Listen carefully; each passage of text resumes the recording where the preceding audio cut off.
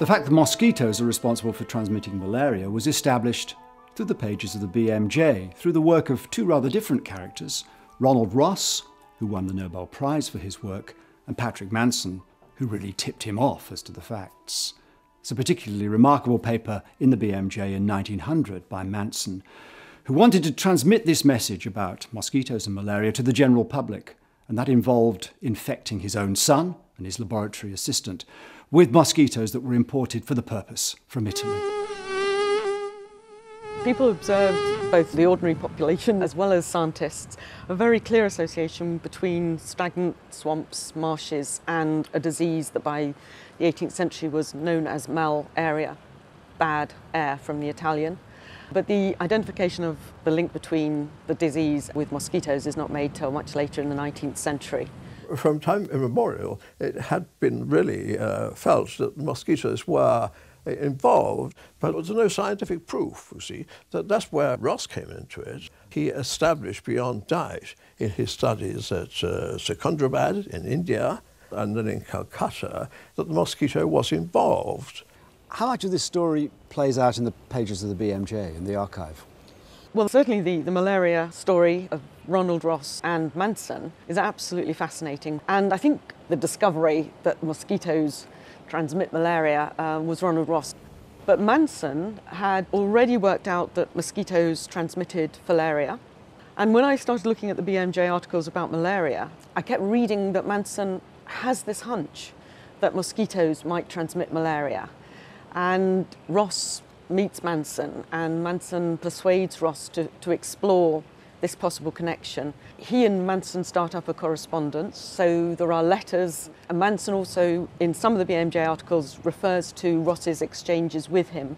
And you see over those years the frustration because Ross cannot find the parasites in the mosquitoes. Um, and then Mosquito Day, he realizes at that point that he's been using the wrong type of mosquito and he has the dapple wing mosquitoes which are probably anopheles and, uh, and that's his eureka moment. The editor of the BMJ, a chap called Hart in those days, was extremely keen on this newly developing discipline and a tremendous number of these discoveries in the exotic diseases associated with the tropics were therefore published in the British Medical Journal. There's a wonderful article by Manson in which he describes some of the experiments. Being anxious to see some fruit from a theory which I knew to be true, and for which I was in a measure responsible, I cast about for means by which the conversion and cooperation of the public might be secured. What he did was he sent George Carmichael Low and a chap called uh, Sambon and uh, Terzi to the Roman Campagna, where there was a lot of vivax malaria at the time. They go to a highly endemic place near Ostia in Italy.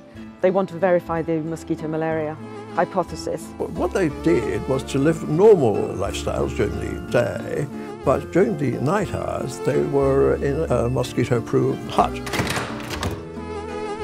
The only protection against mosquito bite and fever employed by the experimenters was wire screens in doors and windows and mosquito nets around the beds.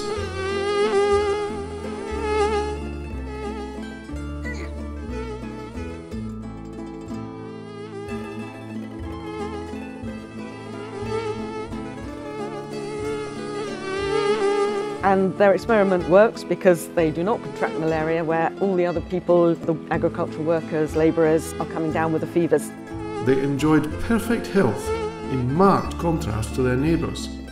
So this for them is, is fantastic proof.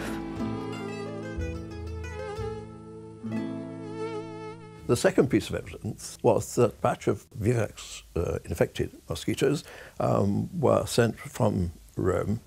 If I fed laboratory reared mosquitoes on a malarial patient in a distant country, and subsequently carried the mosquitoes to the centre of London and there set them to bite some healthy individual, and if this individual developed malarial fever, the conclusion that malaria is conveyed by the mosquito would be evident to every understanding. The Italians send some mosquitoes. It's a wonderful description of, of the way these mosquitoes are sent from Rome.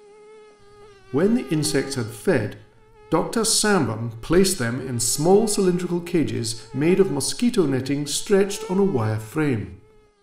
Four such cylinders were packed in a well ventilated box and forwarded through the British Embassy in Rome to the London School of Tropical Medicine. They are carrying benign tertian malaria because the more deadly form, falciparum malaria, would be too risky. By courtesy of the Postmaster General, they came forward by the Indian mail, so that they arrived in London some 48 hours after leaving Rome. A fair proportion survived and appeared to be healthy and vigorous. So a shipment of mosquitoes arrives at the London School of Tropical Medicine. Where they were in fact fed on Manson's son and a laboratory technician. The experimenter has merely to lay the closed cage on his damped hand. There's a description by Manson's son of his symptoms.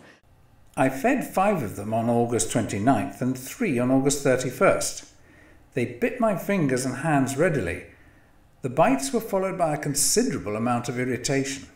On the morning of the 13th, I rose feeling languid and out of sorts with a temperature of 99 degrees Fahrenheit. At 4.30 I went to bed with a severe headache, lassitude, pains in the back and bones, and a temperature of 101.4. At 10 a.m. on September 17th, several half-grown parasites, a gamete, and two pigmented leukocytes were discovered in the first film of my blood examined. Their presence was verified by my father, Dr. Frederick Taylor, Lieutenant Colonel Oswald Baker, Dr. Galloway, Mr. Watson Cheyne. Uh, and they, they both developed malaria, you see, um, which was ultimately cured with Would quinine. we get past the ethics committees these days? I don't think so, no. September 18th, 10 grains of quinine were taken. September 25th, I was in good health, no recurrence of malarial symptoms. But later in life, Ross uh, became very critical of Manson and, you know, fell out with him in a big way. But Ross was a very difficult sort of character. And of course, it was Ross who won the Nobel Prize, and, Yeah, Manson and didn't. Manson did not, yes, quite. Uh, reading between the lines, I think uh, Manson was a very nice sort of bloke, really. He was, he was a good, solid uh, uh, physician. And Ross actually threatened to sue him at one stage, which was absolutely outrageous because Manson was his mentor and uh, he put him on to all of the malaria work, which made him famous and for which he got the Nobel Prize and so on. I, I think it's um, remarkable and laudable that this country took such a lead in the development of uh, tropical medicine as a discipline and invested in the subject in the tropics. Yeah, but it was principally to look after the servants of empire and Raj rather than the indigenous populations. Yes. Um, Yes. You know, it has flowed over to the indigenous populations now, but um, as it was established, uh, they were only interested in, uh, for political reasons, in looking after the servants of empire and Raj.